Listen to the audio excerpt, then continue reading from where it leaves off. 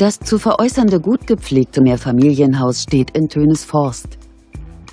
Das im Jahr 1993 erbaute Gebäude wird über eine Gasetagenheizung beheizt.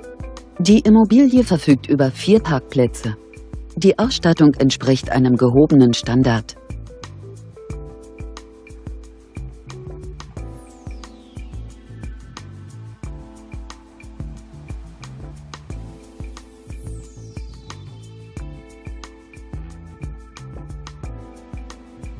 Auf einer Grundstücksfläche von ca. 543 Quadratmetern weist das Haus eine Wohnfläche von ca. 318 Quadratmetern auf.